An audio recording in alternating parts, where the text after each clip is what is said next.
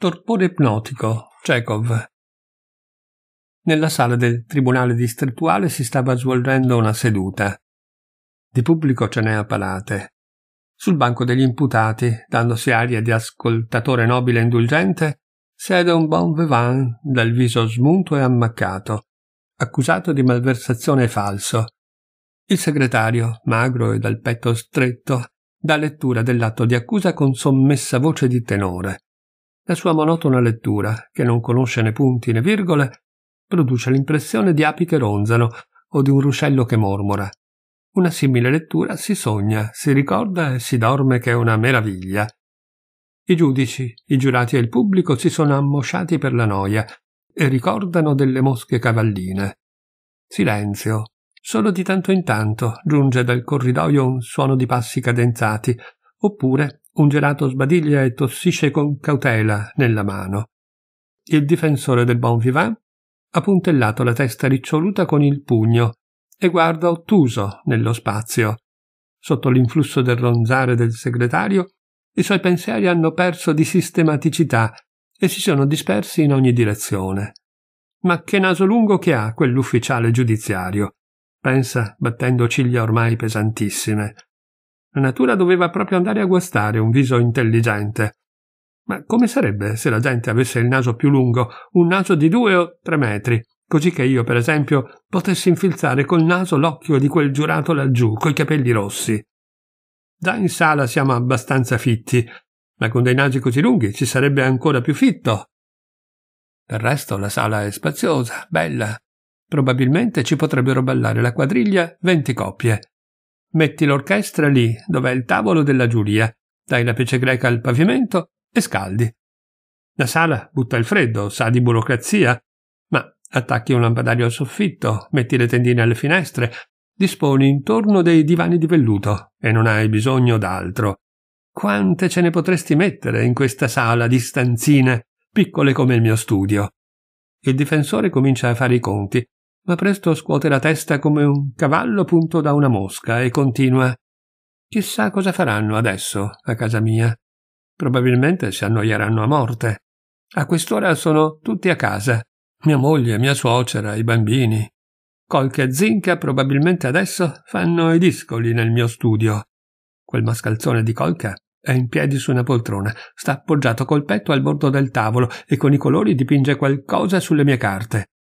Ha già disegnato un cavallo con un muso aguzzo e con un puntino al posto dell'orecchio, un uomo con un braccio teso in avanti, una casa storta dal cui camino esce il fumo a zigzag, mentre Zina sta in piedi, di fianco al tavolo, tende il collo e cerca di vedere cosa ha disegnato il fratellino.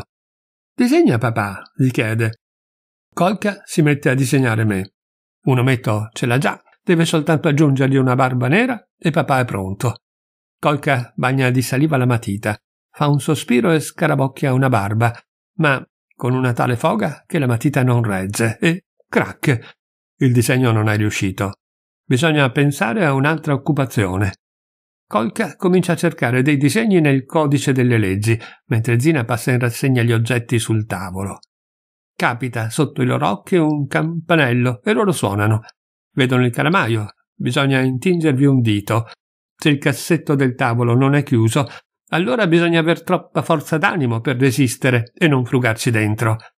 Alla fine viene loro in mente che sotto la mia scrivania ci si può nascondere benissimo.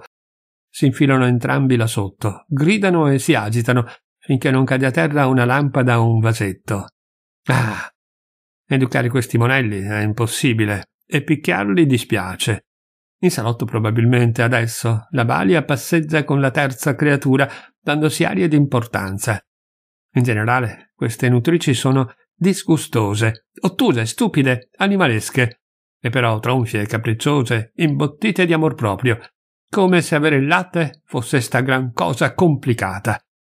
E la creatura strilla, strilla, strilla senza smettere. Sulle azioni della stessa banca, ronza il segretario, ai numeri 17, 103, 164, 207, 801, 912, come risulta nel libretto lettera K, gli interessi non sono stati pagati, inoltre la somma di 1435 rubli e 41 copeche è stata aggiunta alla rimanenza del 1883. Forse però a casa stanno pranzando, fluttuano i pensieri del difensore. A tavola sono seduti mia suocera, mia moglie Nadia, il fratello di mia moglie Vasia e i bambini. Come al solito, mia suocera ha dipinta sul viso un'aria di ottusa preoccupazione e la consapevolezza delle proprie ragioni, sebbene nessuno le abbia chiesto niente su chi ha ragione. È orgogliosa e non ha nessun bisogno che la nutrano i suoi figli, e andrebbe a chiedere la carità piuttosto che essere in debito con la figlia e il genero, e tuttavia mangia più non posso. Nadia, magra, ormai sfiorita, ma ancora con il viso con una splendida pelle bianca e trasparente, è seduta a tavola e fa finta di essere malata. Anche il suo volto, come quello di mia suocera, esprime preoccupazione. E ci credo, sulle sue spalle ci sono i bambini, la cucina, la biancheria del marito, gli ospiti, le tarme nelle pellicce, la polvere sul piano, un mondo intero. Quante mansioni e quanto poco lavoro. Nadia decisamente non fa nulla. Se a furia di non far niente annaffia i fiori o trova da dire con la cuoca, poi per due giorni si lamenta per la stanchezza. Suo fratello Vasia, un ginnasiale scrofoloso, mastica in silenzio e teme che qualcuno gli presti attenzione. Oggi ha preso un brutto voto, ciò che non è difficile indovinare dal suo viso. È piccolo, tranquillo, servizievole, riconoscente, ma consuma una tale quantità di stivali, libri e pantaloni che è una vera calamità. I bimbi naturalmente fanno i capricci, vogliono l'aceto e il pepe, si lamentano l'uno dell'altro e fanno cadere continuamente il cucchiaio. È male la testa anche solo a ricordarle queste cose. Mia moglie e mia suocera, come autentiche istitutrici, più che mangiare, vigilano sulle buone maniere. Dio scampi, vasi e zina, dall'appoggiare i gomiti sulla tavola, dall'afferrare il coltello con tutto il pugno o dall'intingere i polpastrelli nella saliera. Li potrebbero sbranare. È meglio morire di fame, piuttosto che permettere alla cuoca che porge le pietanze di servirle da destra e non da sinistra.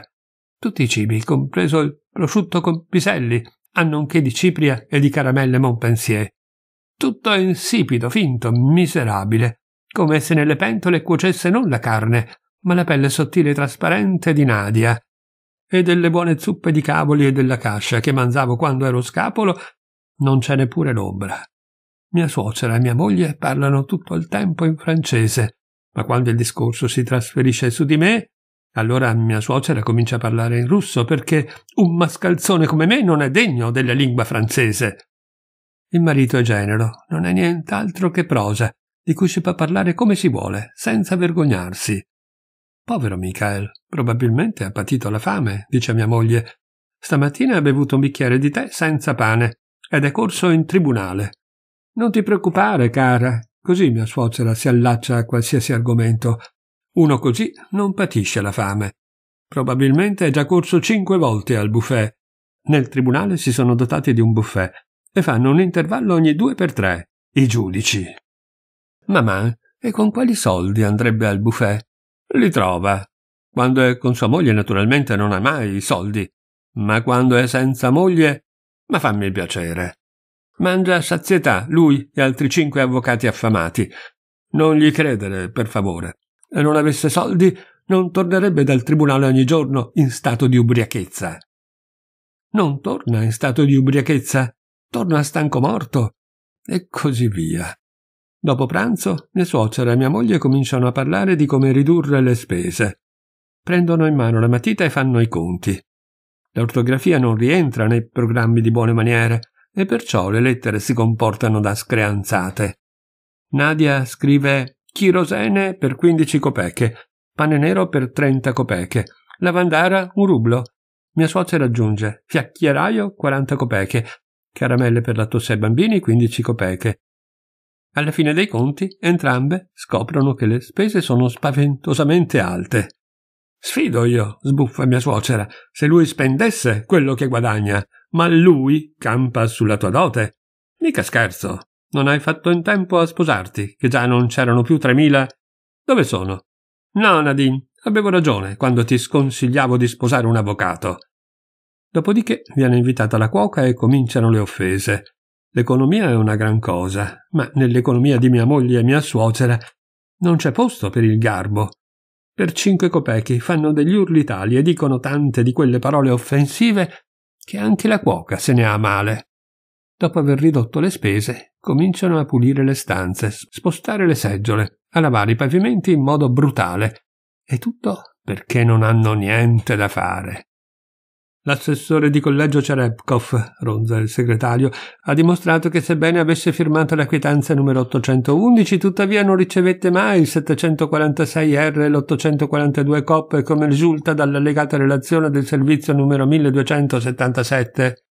Quando ci pensi e valuti bene, prosegue il difensore, allora, quanto è vero Dio, diresti ciao a tutto, lo manderesti al diavolo. Io sono una persona onesta ma non mi faccio delle colpe se qualcosa del genere. Le zingare o cosa. Quando ti rincretinisci e ti sfinisci tutto il giorno, involontariamente vuoi poi riposare la tua anima di notte. Fai un salto da Natascia, oppure quando hai soldi dalle zingarelle e dimentichi tutto. Ti stravacchi sul sofà di una camera col separé e senti che la tua anima è tutta sottosopra a sentir cantare Glascia, la zingara, Ah, Glascia, che denti, che occhi, che schiena. Il segretario intanto ronza, ronza, ronza. Negli occhi del difensore tutto comincia a fondersi. I giudici e i giurati rientrano in se stessi. L'immagine del pubblico ci fa sfuocata. Il soffitto sembra cadere. Infine i pensieri si spezzano. Nadia, la suocera, il naso dell'ufficiale giudiziario, il bon vivant, Glascia, tutto questo saltella, gira, se ne va lontano, lontano, lontano. Bene, si assopisce tranquillo il difensore. Si sta bene. È steso sul divano. Fa caldo, si sta comodi. Lascia che canta. Signor difensore, sente una voce decisa. Si sta bene, fa caldo. Non lavano i pavimenti, non c'è la suocera. Glascia è buona, bella, Semplice. Signor difensore! risuona la stessa voce decisa. Il difensore trasalisce e apre gli occhi.